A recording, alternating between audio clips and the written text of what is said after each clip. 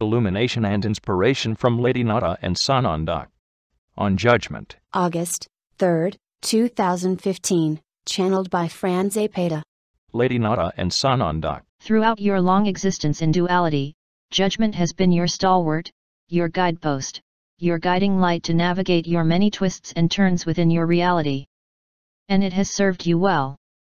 It has seemingly kept you safe and kept you moving towards your goals. We say seemingly, because while it has moved you forward and kept you safe in many cases, it has also limited you in your many experiences in your journey of moving into higher consciousness. Yet judgment has served its purpose.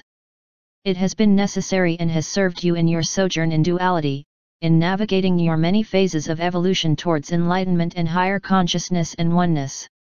It has been a necessary phase to move you further along in your development, and to allow you to move into your continual refinement of your energies as you move out of duality, and ultimately to discover that judgment can now be replaced with discernment and openness to new experiences in consciousness. Looking at and examining the many times you have used judgment as a compass, will be an enlightening exercise in discovering and examining the workings of your old ways of moving through life, that although they have served you, it is now time to allow yourselves to shift into the new perspective brought into your consciousness by the new higher energies, steadily becoming more comfortable residing within you.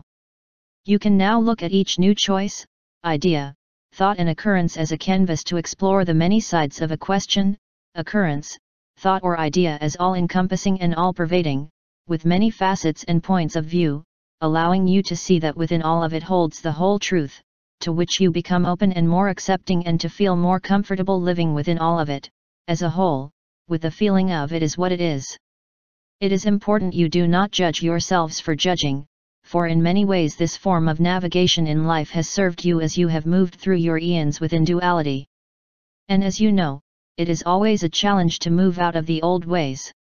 However, you are finding that it is becoming easier to move beyond this older mode of operation you have used to guide you, as you merge with your higher selves, aspects, and higher consciousness and embrace the new vibrant energies of change that are upon you now.